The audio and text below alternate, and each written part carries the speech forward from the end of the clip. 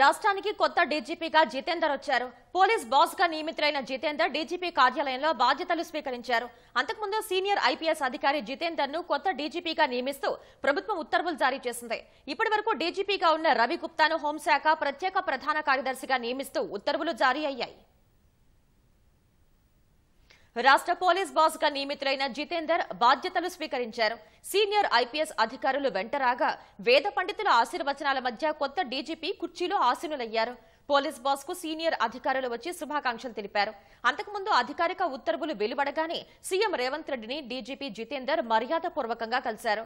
పంజాబ్ రాష్ట్రం జలంధర్లో రైతు కుటుంబంలో జన్మించిన జితేందర్ పంతొమ్మిది వందల తొంభై రెండు ఐపీఎస్ బ్యాచ్ అధికారి.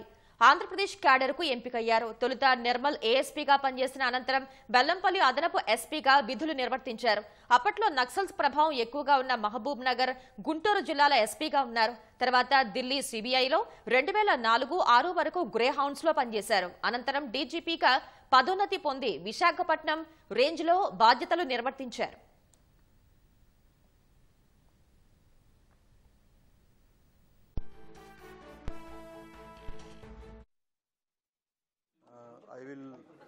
Try to do my level best, and uh, I understand the priorities of the government that we should maintain law and order, prevent crime, especially sensational crime, and narcotics has been another priority area for the government.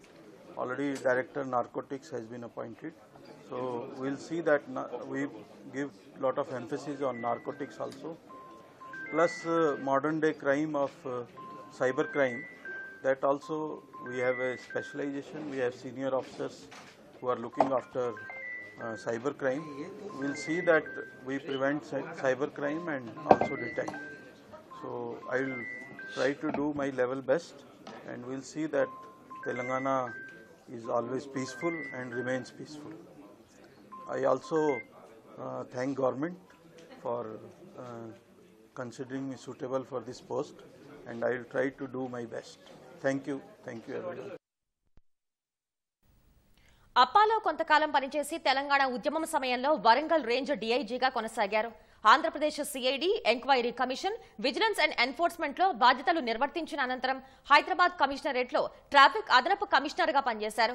తర్వాత తెలంగాణ శాంతి భద్రతల విభాగం అదనపు డీజీపీగా జైళ్ళ శాఖ డీజీగా పనిచేశారు. ప్రస్తుతం హోంశాఖ ముఖ్య కార్యదర్శిగా ఉన్న ఆయన రెండు వేల ఇరవై ఐదు సెప్టెంబర్లో పదవీ విరమణ చేయనున్నారు.